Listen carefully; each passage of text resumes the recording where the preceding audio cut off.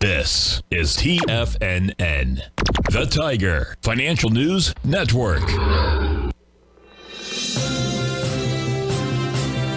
TFNN Headline News Update.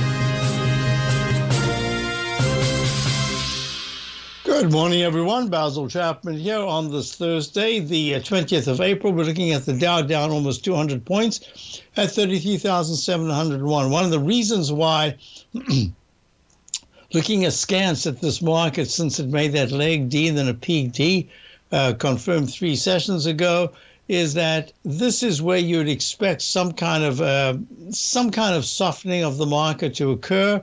It, there is still internal strength but I'm looking at a choppy market, possibly making lower highs and lower lows. We'll see what happens. We won't know until, at least I won't know until we're under 33,500, whether or not this is going to be um, a move of time and price or just a kind of a sideways consolidation.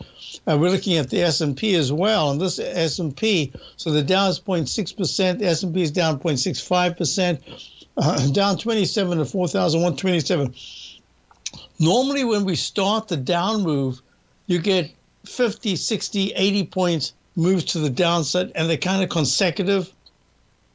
So we're watching this very closely because here again, the technicals are quite positive. So until you see the S&P at about 4,000 and say 60, I, would say it's at 4,125 right now. It's still holding pretty well, even though it's down. QQQ and the X100 trading up from the low of the day, but it's still down $1.52 at 317.18. Actually, it's been holding a little bit better than the others, uh, just in price, but the technicals are starting to weaken a lot. IWM, the Russell 2000, small caps uh, down 85 cents at 177.39. Now, we're going to be watching gold very closely because gold is up 10 at 2015. The dollar should, in fact, have taken that double bottom as a really good sign to move higher.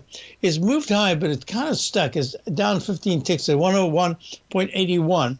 And if you're looking at the TLT, which has been going down sharply, just got to that base level in the 103s. It's up now at 104.75, up 75 cents. As I said before, I think that rates are just stuck in a range for now.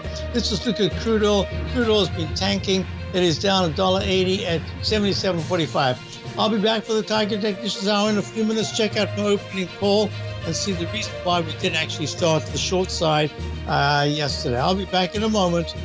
Basil Chapman, Tiger Technicians.